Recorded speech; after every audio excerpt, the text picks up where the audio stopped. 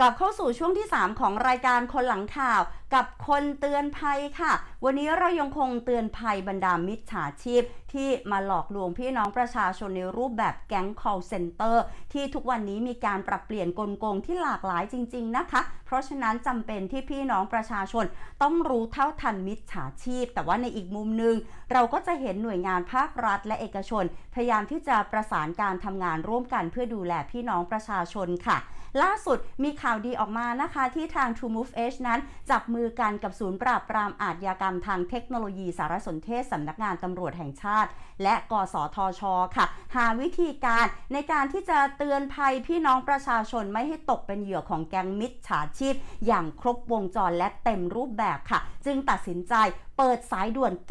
9777 ขึ้นมาเพื่อที่จะรับเรื่องร้องเรียน ป้องกันภัยจากมิจฉาชีพอย่างทันท่วงที เราไปติดตามรายละเอียดด้วยกันเลยค่ะ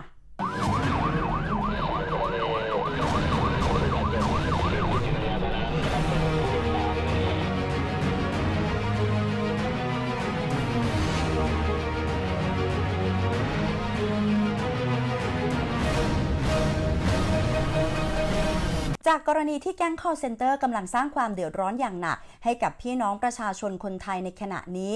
True Move Edge มีความห่วงใย และต้องการร่วมแก้ไขปัญหาที่เกิดขึ้นอย่างเร่งด่วนค่ะ จึงเดินหน้าผนึกกำลังกับศูนย์ปราบปรามอาชญากรรมทางเทคโนโลยีสารสนเทศสำนักงานตำรวจแห่งชาติ หรือสอปอสตร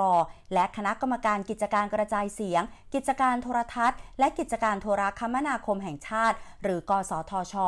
ร่วมกันยกระดับการป้องกันและปราบปรามอาชญากรรมทางเทคโนโลยี เพื่อให้เป็นไปแบบครอบจักรวาล โดยมีการเปิดศูนย์รับเรื่องร้องเรียน หมายเลขโทรศัพท์ 9777สำหรับลูกค้า True Move Edge ให้ติดต่อโทรฟรี แจ้งข้อมูลหมายเลขโทรศัพท์ที่เข้าข่ายต้องสงสัย และ SMS หลอกลวง รองรับทั้งภาษาไทยและภาษาอังกฤษตลอด 24 ชั่วโมงค่ะนายนัทวุฒิอมรวิวัฒกรรมการผู้จัดการใหญ่ร่วม บริษัท True Corporation จำกัดมหาชนกล่าวว่า ลุ่มทูได้ตระหนักถึงภัยอาชญากรรมออนไลน์ ที่มีเพิ่มขึ้นเป็นจำนวนมาก แถมยังมีกลโกงหลากหลายรูปแบบมากยิ่งขึ้น ก่อให้เกิดความรำคาญ และสร้างความเดือดร้อนเสียหายให้กับผู้ที่หลงเชื่อตกเป็นเหยื่อของมิจฉาชีพทาง True Move Edge ต้องการให้มีความปลอดภัยและมั่นใจในการใช้บริการมากยิ่งขึ้น ซึ่งนอกจากจะให้ความสำคัญในการดูแลปกป้องรักษาข้อมูลส่วนบุคคลของลูกค้าแล้ว ก็ยังคงเดินหน้ายกระดับ ในการป้องกันและปราบปรามอาชญากรรมทางเทคโนโลยี ด้วยความตั้งใจแก้ไขปัญหาอย่างเป็นรูปธรรม จึงได้ร่วมมือกันกับศูนย์ปราบปรามอาชญากรรมทางเทคโนโลยีสารสนเทศสำนักงานตำรวจแห่งชาติ หรือสปอสตร หรือศูนย์ PCT และคณะกรรมการกิจการกระจายเสียงกิจการการโทรทัศน์ และกิจการโทรคมนาคมแห่งชาติ หรือกสทช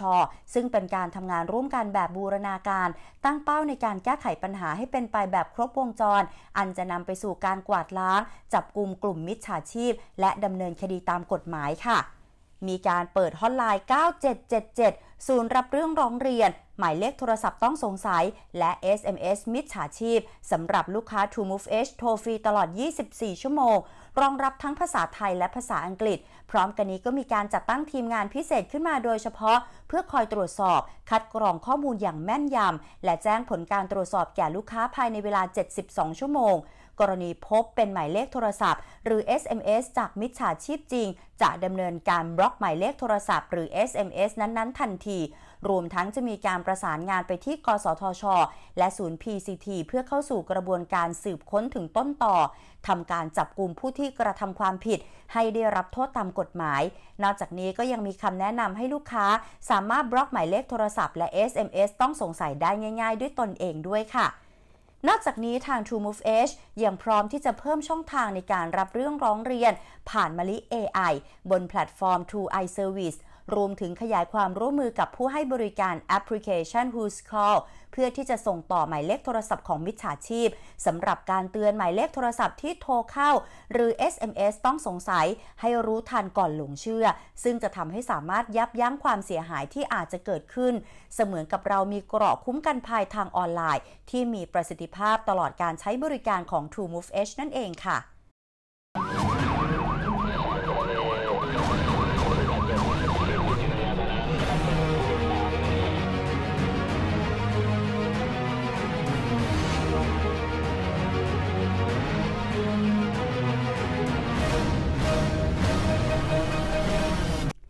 จะเห็นได้ว่าเวลานี้หลายหน่วยงานนะคะ พยายามจะประสานความร่วมมือกัน เพื่อที่จะจัดการกับคดีอาชญากรรมทางเทคโนโลยีสารสนเทศเหล่านี้ และถ้าหากว่าคุณผู้ชมมีเบาะแสกลุ่มมิจฉาชีพแก๊ง call center และต้องการที่จะแจ้ง หมายเลขโทรศัพท์ต้องสงสัยและ SMS ของมิจฉาชีพ แล้วก็สามารถติดต่อไปได้ที่สายด่วน 9777 นะคะ